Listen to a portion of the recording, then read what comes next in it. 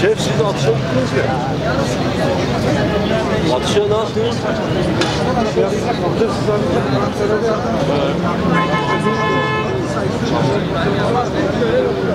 bir kez daha kapsamlı değişiklikler yapmış ve taslak programları yayınlamıştır. 2024-2025 eğitim öğretim yılından itibaren okul öncesi 1. sınıf, 5.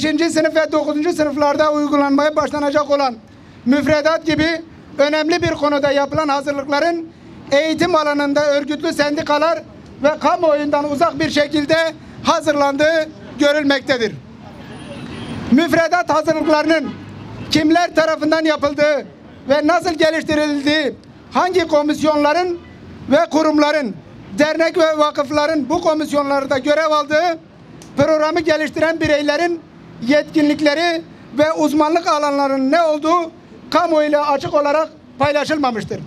Müfredat değişikliği sürecinin kamuoyuna açık ve şeffaf şekilde yürütülmemiş olması yeni müfredata yönelik tepkilerin ne kadar haklı olduğunu ortaya koymaktadır.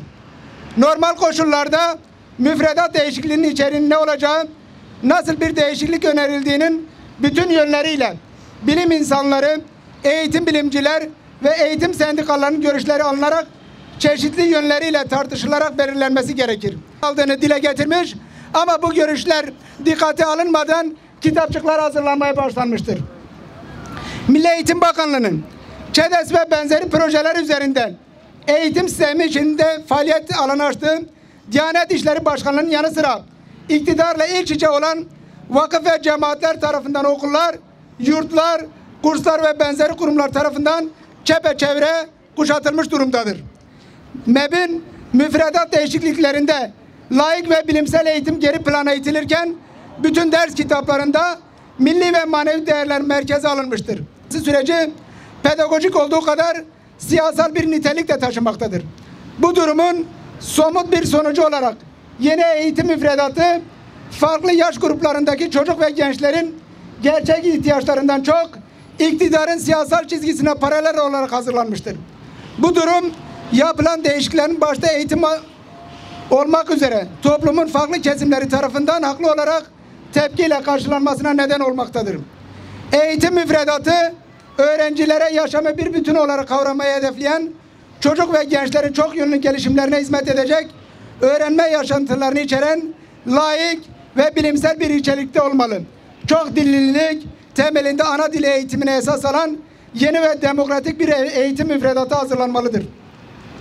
Eğitim sen olarak eğitim müfredatı başta olmaktan çok uzak olan laik ve bilim karşıtı yeni müfredatı reddediyoruz. Eğitim ve bilim emekçileri başta olmak üzere öğrencilerimiz, velilerimiz ve tüm kamu ile birlikte bilime, layık, demokratik ve ana dilinde eğitime açıkça meydan okumak anlamına gelen müfredat değişikliklerine karşı mücadele etmeye devam edeceğiz. Layık, bilimsel, demokratik ana dilinde eğitime karşı olan bu yeni müfredatı reddediyoruz. Biz bu müfredatla mücadeleye devam edeceğiz arkadaşlar.